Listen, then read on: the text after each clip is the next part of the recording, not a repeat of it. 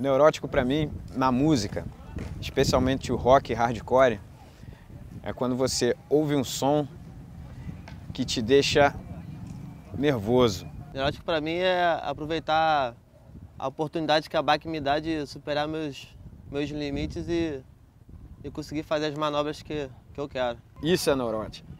Neurótico pra caralho.